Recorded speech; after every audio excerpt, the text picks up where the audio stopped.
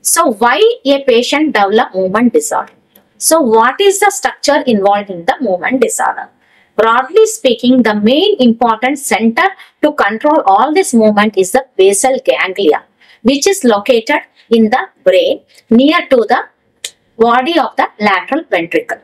So this basal ganglia along with the thalamus and some part of the midbrain, the substantia nigra, subthalamic nucleus and its connection that is connection to the cerebellum and different parts of the brain is the one which control the movement disorder. So there are certain pathways, direct pathway, indirect pathway and hyperdirect pathway. So any pathway is affected, person will have movement disorder. For example, as I told, in Parkinson's disease, slowness will occur. Slowness will occur due to involvement or the abnormal function of the direct pathway.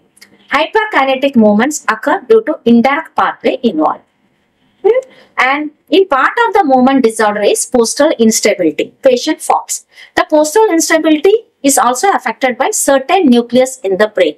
That is brainstem, pedunculopontine nucleus and other structures. All these pathways will have control on the posture.